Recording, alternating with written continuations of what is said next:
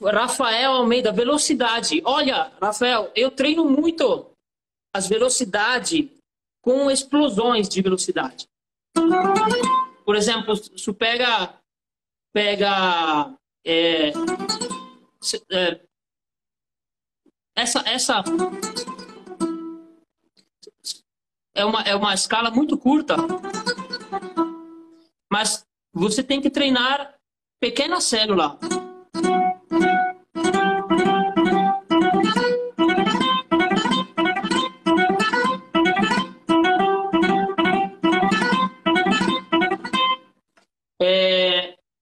Células de velocidade você pode depois transferir também em escala muito compridas. Tem a, a escala famosa da Barossa, né?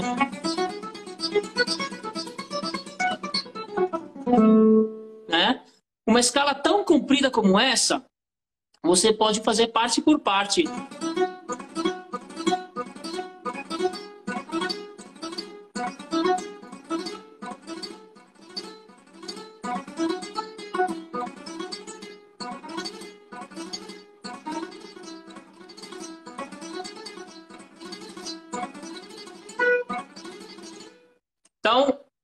Por parte.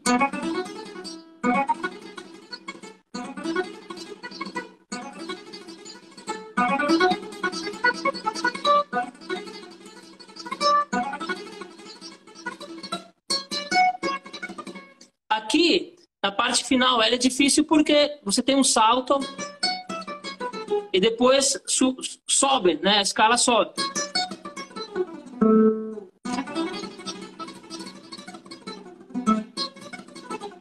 Ah.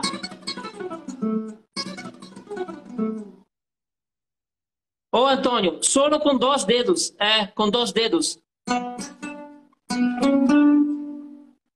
Solo com dois.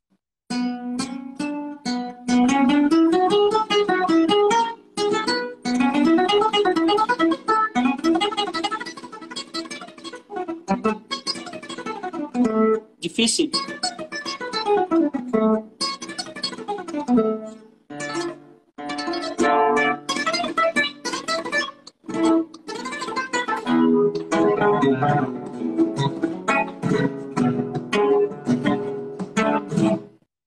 É. É, então, você pode fazer explosões de velocidade, ajuda muito, tá? É, e também arpejo, porque existe a velocidade não somente na, na, na, na é, nas escalas, certo? É, mas também no arpejo. Por exemplo, é, aquele arpejo.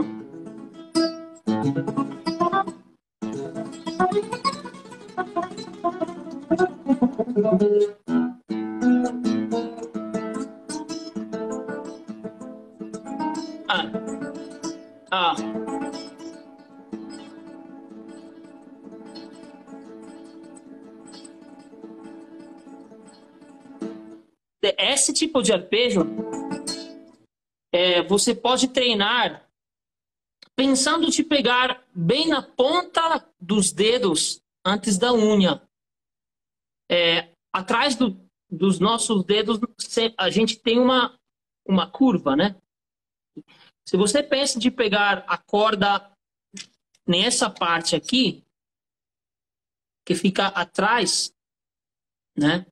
Você, a corda para chegar na unha tem muita estrada para fazer.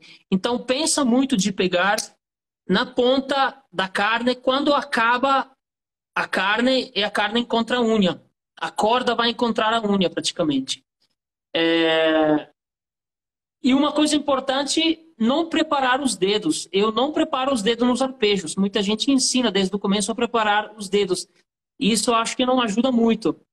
Nós temos que tocar a corda somente quando realmente o, uh, o dedo vai produzir o som, né? Por exemplo, tem o método do Giuliani, né? 120 arpejo.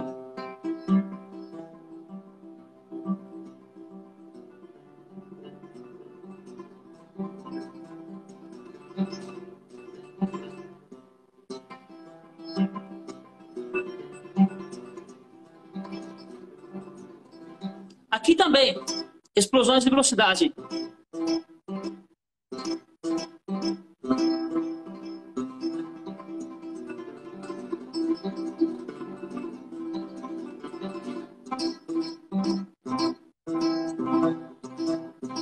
Ó, aqui, por exemplo, você tem um salto P e M e depois o P vai pular da quinta corda até a quarta.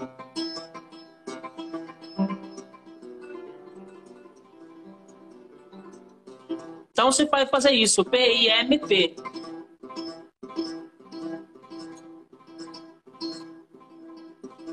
Você vai ver que não, não, não é tão fácil tocar P I M e, e M de novo.